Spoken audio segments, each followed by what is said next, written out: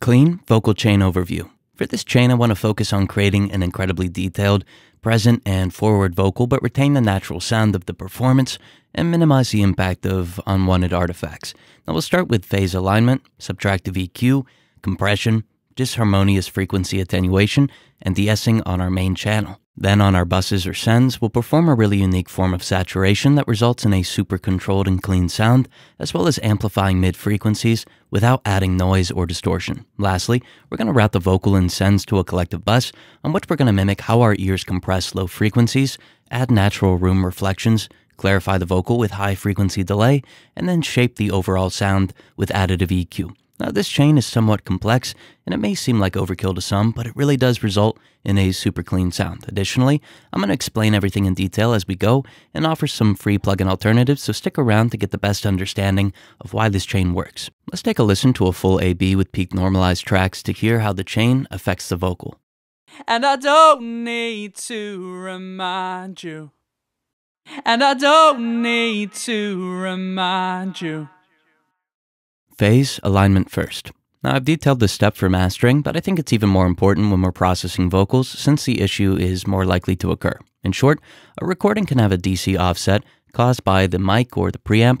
Now, this means that the recording could be shifted to the positive or negative phase or side. Now, ideally, the peaks and troughs of a waveform should be in equal proportion and centered along an x axis or voltage unity. If a recording is shifted, any processing that I use is going to misread the peaks. This is especially important with processors that include thresholds like compressors, saturators, and more. That said, it's a good idea to fix this before processing. With this iZotope RX standalone plugin, I'll import my vocal recording, open the phase module, then hit suggest. It's going to show me if the vocals have an offset by how much, and it's automatically going to fix the issue. Now note that nothing is deleted from the vocal and it has no effect on the sound, only how accurately my processors are going to measure it. Unfortunately, I don't know of a free alternative to the software, so if you do, please let me and others know about it in the comments. Corrective, subtractive EQ. Before we begin to introduce additive processing, let's remove frequencies from the vocal that are disharmonious or are present in excess. Attenuating these problem frequencies are going to make the vocal sound more balanced and musical. I'll use this FabFilter Pro Q3, but a good free alternative is M Equalizer by Melda Audio. It only offers six bands, but it's very useful nonetheless. Now I'll start with a high pass filter to remove resonances picked up from the mic and the mic stand, then I'll usually dip a little of 250 Hz. Now although there are rarely hard set rules in audio, 250 Hz almost always covers up or masks 2 to 5 kHz, which is where a lot of the vocal's clarity is. Next, I want to figure out the key of the vocal and the song. If I don't know this, I could use TuneBat's analyzer, which is going to tell me the key, an alternative key, and the BPM, which will be helpful later on. Now, to keep things simple, let's say the song's key is in C major. What I'll do is look and I'll listen for frequencies in the mids that don't fit in this key. So potentially D sharp, F sharp, or another note that isn't in key but has a high amplitude in the recording. I'll center a band on the frequency, use a slightly more narrow Q value, and then attenuate by a couple of dB. Lastly, I like to attenuate a little of the vocal sibilants or the S sounds in the highest frequency range. You could just use your ears, but the easiest way is to observe the frequency analyzer and find where the energy is concentrated whenever a sibilant occurs. Then I'll attenuate it by 1 to 2 dB with a bandwidth that matches that of the sibilant range. Let's take a listen to our vocal processed with this subtractive EQ and notice how it sounds slightly more balanced. And I don't need to remind you. And I don't need to remind you. Clean vocal compression. Next, let's use compression to control the vocal's dynamics, but just as importantly, bring the vocal forward with post compression amplification. We'll want to use quick settings to quickly capture the transient. One issue, though, is that fast attack times can cut into a transient, causing distortion. To work around this, let's use 2 milliseconds of look ahead, which will measure the transient before it occurs, allowing the compressor to attenuate the full transient without causing distortion. Then we're going to set a 40 to 50 millisecond release time to quickly return the vocal to unity, but avoid the same type of distortion that would have occurred with a super quick attack. A 4 to 1 ratio with a softer knee works well, but be sure to use your ears and try to avoid more than 6 dB of attenuation. Lastly, I'll use automatic makeup gain to amplify the vocal post-compression. By reducing the peaks and then amplifying, we bring up quieter details of the vocal that would have otherwise been masked by louder signals. Let's take a listen and notice how the vocal sounds more controlled and how the increased details from post-compression amplification make the vocalist sound closer to the listener. And I don't need to remind you. And I don't need to remind you. Clean vocal compression with free alternative. Last chapter, we used the FabFilter Pro C2 for our compression, but a great free alternative is M Compressor by Melda Audio. Using it will look a little different than last chapter, so let's cover how to use it quickly in case you want to follow along but you don't have the Pro C2. With it, I'll set a 1.5 millisecond RMS setting, which will average the input amplitude, causing less erratic compression. Then, I'll set a 20 millisecond attack time and a 20 millisecond release. Since we don't have look ahead with this plugin, we'll have to avoid super short attack times due to distortion. I'll select the soft knee setting and increase the value of the knee size and use a 4 to 1 ratio, again, trying to attenuate by no more than 6 dB. Lastly, in the output section, we can enable automatic gain compensation, which is going to adjust the output similar to the automatic makeup gain setting from the last chapter. Let's take a listen and compare this compressor with the one that we used in the last chapter to see if they create a similar sound. And I don't need to remind you. And I don't need to remind you. Disharmonious, transient, de-emphasis. In Chapter 3, we discussed the idea of disharmonious frequencies or ones that exist outside the key of our track. Although we don't want to get rid of these completely, it helps to attenuate them whenever they get too loud. I'll use this multiband transient expander called Punctuate by Newfangled Audio and select 10 bands as the setting. Then I'm going to go over to the frequency aspect and instead of using the preset mel frequencies, alter these frequencies that are outside the song's key. You're probably going to need to look these frequencies up first, depending on the key of your vocal that you're working on, but I'll set mine according to this particular vocal. Now, once the frequencies are set, I'll use a suppress setting to attenuate them by about 1 to 2 dB whenever they trigger the plugin. Additionally, I'll set the measurement to a multi-band setting to allow each band to work independently. This way, whenever a particular out-of-key frequency is strong enough, the processor is going to attenuate it. If you're having some trouble getting this to sound natural, you could just use the mix dial and blend in the effect until the vocals sound more musical, but the processing itself isn't too noticeable. Now, unfortunately, I don't know of a free multiband, frequency specific transient suppressor, but if you do, let me and others know about it in the comment section. Let's take a listen to the processor and notice how the vocal sounds more musical by dynamically reducing disharmonious signals. And I don't need to remind you. And I don't need to remind you. High frequency, vocal compression. Although we attenuated some of the sibilants in Chapter 3, I want to do it dynamically with a high frequency compressor, more commonly called a deesser. Now, the idea is to center the band over the frequency range like we did in Chapter 3, and then set the threshold carefully so that only the sibilance is attenuated. If you have access to one with an attack and release, set a quick attack and a quick release to return the signal to unity quickly. Since we're working with higher frequencies, we don't need to worry as much about these quick settings causing some distortion. I usually attenuate by 3 dB at most, but you might need to attenuate less or more, depending on the vocalist, the EQ of the microphone used, and some more factors. Lastly, I'll adjust the makeup gain to amplify as much as I attenuated. This is going to reduce the harshness of the discordant sibilants and amplify some more of the musical sounding highs. I like to use this Weiss deesser, but a good free alternative is T-Deesser by Techivation, or an even better sounding, really affordable option is Sibilance 4 by Tone Boosters. Let's take a listen to the deesser being introduced and notice how the highs become a lot cleaner. And I don't need to remind you. And I don't need to remind you. Cleanest possible vocal saturation. For the past seven chapters, we've been inserting our processing on the main vocal track, but let's start introducing parallel processing on auxiliary tracks. The method I'm about to describe is a little complex, but it results in very controlled saturation. To explain, let me quickly detail what a saturator does. In short, it introduces harmonics. Harmonics are multiples of a fundamental frequency, so if the fundamental is 80 Hz, a second ordered harmonic is 160 Hz, while a third order harmonic is 240 Hz, and so on. Now, that said, our ears perceive these multiple frequencies as one note since they're related to one another. Intermodulation distortion, on the other hand, is somewhat similar in that specific frequencies are being amplified. However, unlike harmonics, these frequencies are not related to the fundamental. For example, if distortion occurs to 80 Hz and it results in the amplification of 200 Hz, this would be intermodulation distortion. The reason I bring this up is because saturators can cause intermodulation distortion if they misread the fundamental frequency. If a saturator reads the fundamental as 100 Hz, but the fundamental is actually 80 Hz, then it could result in the amplification of 200 Hz, which, as we just covered, is disharmonious to the actual fundamental frequency in this example. So, to completely avoid this issue, here's an option I'd like to try out. First, send the vocal to an auxiliary track on which we've inserted a linear phase EQ. Next, use this linear phase EQ to isolate the fundamental frequency of the vocal. Now keep in mind that this probably won't be just one note, since the vocal is going to sing various notes, but it's often within a observable range of frequencies.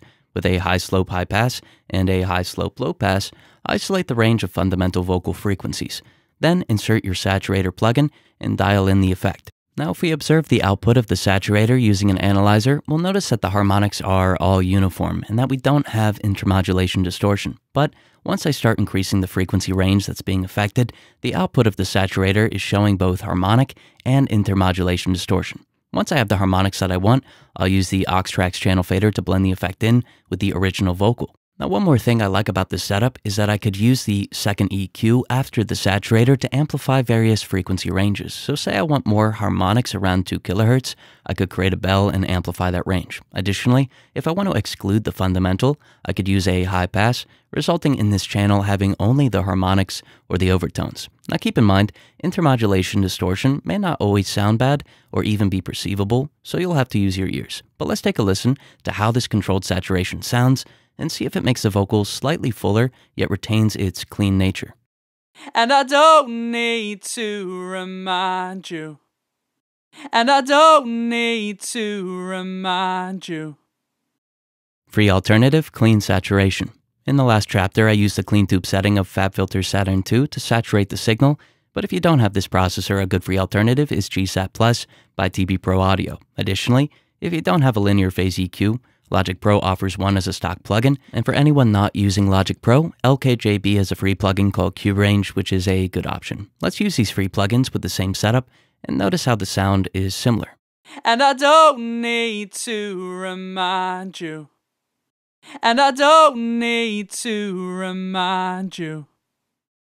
Mid frequency gate and upward compress. For this next step, I'm going to bring up quieter aspects of the mid frequencies, but in a way that doesn't increase the noise floor. First, let's again set up a send from our channel track, and on the corresponding auxiliary track, insert a linear phase EQ. With it, I'll isolate the mid frequencies, usually between 4 to 500 Hz and 5 kHz. Like the last chapter, I'll use low and high pass filters to isolate the range, but this time, use more gradual slopes, usually 18 to 24 dB per octave, should work well. Then I'll insert a gate which will attenuate the vocal whenever it falls below a specific amplitude as determined by the threshold. I'll set the threshold around negative 50 dB and use a softer knee with a little look ahead. I'll use this FabFilter gate, but if you don't have it, you could use the M compressor by Melda Audio. If you set a 1 to 1 ratio and select custom shape, you could determine when the amplitude of the signal is going to be attenuated. In this instance, we'll want to drop the amplitude whenever the signal falls below 50 dB. Last up, let's insert the upward compressor MV2 and increase the low level signal. This will measure and compress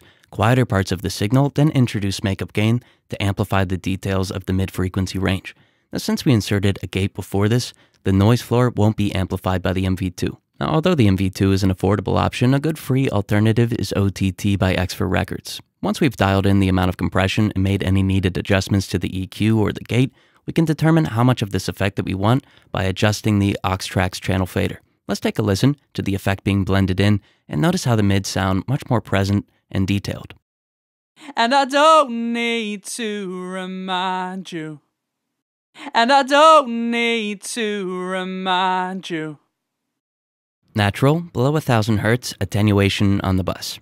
At this point, we're done creating auxiliary tracks, but what we want to do now is route both the original channel and our auxiliary tracks to a collective bus where we can process them all together. Now to do this, I'll change the output of the channel and the aux channels to the same bus. For the rest of the video, we'll be adding our processing to this bus. Now first, let's insert a multiband compressor. With it, I'll create incredibly natural sounding compression to add a final stage of dynamic control to the vocal. Let me quickly explain the thinking behind this step though. In short, two muscles in our ears naturally protect our eardrums from loud sounds. Now to do this, the muscles contract and narrow the passageway to the eardrum, resulting in attenuation from 1 dB to 20 dB, depending on the intensity of the sound. The contraction of the two muscles isn't instant, though. It takes between 35 to 40 milliseconds for it to happen, and these muscles stay contracted for about 130 to 150 milliseconds. Additionally, this contraction mainly attenuates frequencies below 1000 Hz. Now, with all of this in mind, let's use a multiband compressor and isolate our attenuation to 1000 Hz and below. Then we'll set an attack of 40 milliseconds and a release of 150 milliseconds, and if possible, set a softer knee to mimic the gradual attenuation caused by the tensing of the muscles. I'll only introduce a couple of dB of attenuation to keep the effect from being too obvious. Be sure things like look ahead, makeup gain, and any other unrelated function is turned off. I'll use this iZotope compressor, but a good free alternative is TDR Nova by Tokyo Dawn Labs. Let's take a listen and let me know in the comments if the compression sounds natural and if this is something that you plan on trying. And I don't need to remind you. And I don't need to remind you. Natural studio room reflections. At this point in the chain, our frequency is balanced, our dynamics are controlled, and the overall sound of the vocal is full and present. So let's add some reflections to give the vocal some depth and to help it fit into a mix. I'll use this Seventh Heaven reverb, but a good free alternative is this D reverb by Stone Voices. Now with it, I'll find a room emulation. A studio setting is going to work well. I'll blend in the effect with the mix dial and ensure that I have a pre-delay of at least 10 milliseconds to let some of the dry vocal cut through. If you're using the free alternative, try a decay time of around a second, again using a longer pre-delay and ensure that the width isn't too aggressive. Now this step is really simple, but these natural sounding reflections really help a vocal sound like it was cleanly recorded in an actual space instead of maybe a bedroom studio. Let's take a listen to it. And I don't need to remind you. And I don't need to remind you. High vocal range delay. To help the vocal stick out and to give it a unique characteristic, I'm going to introduce this delay, but to the frequencies that provide the most vocal clarity.